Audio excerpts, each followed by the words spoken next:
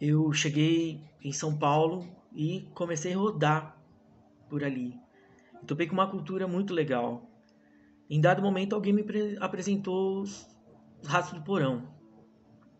Eu fiquei mó louco com aquilo. Aquilo entrou na minha alma de um jeito que, tipo, era a rebeldia que eu precisava para poder virar o mundo do avesso, né? Aquela voz forte do, do João Gordo e aquela coisa forte, pesada, né? Um belo dia nessas andanças eu acabei parando no Largo de Osasco. Uma fome do caramba, não tinha dinheiro para nada, não tinha emprego. E tudo que eu queria ali era dar um jeito de fazer palhaço na porta de uma loja, levantar uma grana para vender bala no trem.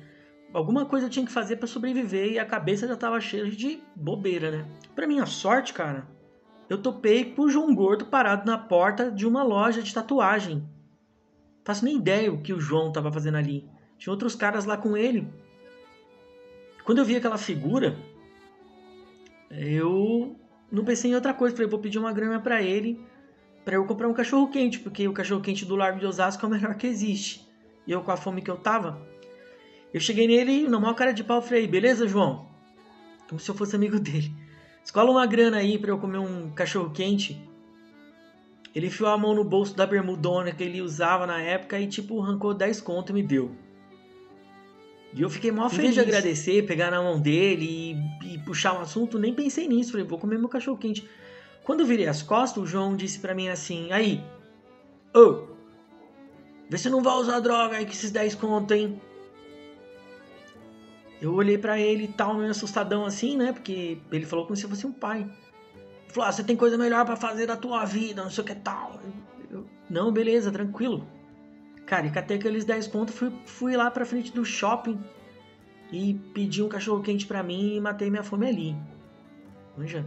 Mas na hora que eu tava comendo o cachorro quente, eu fiquei pensando, cara, por que, que o João, puta num rebelde, sabe, um, um ídolo mesmo assim para mim, tá dizendo para mim que não é pra usar droga? Como assim?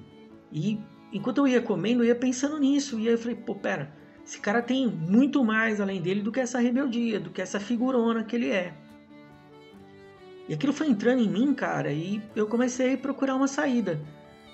Fui bater lá na Fundação Bradesco e consegui uma vaga, fui me virar e ali eu estudei e descobri, cara, que rebeldia por rebeldia só não resolve nada.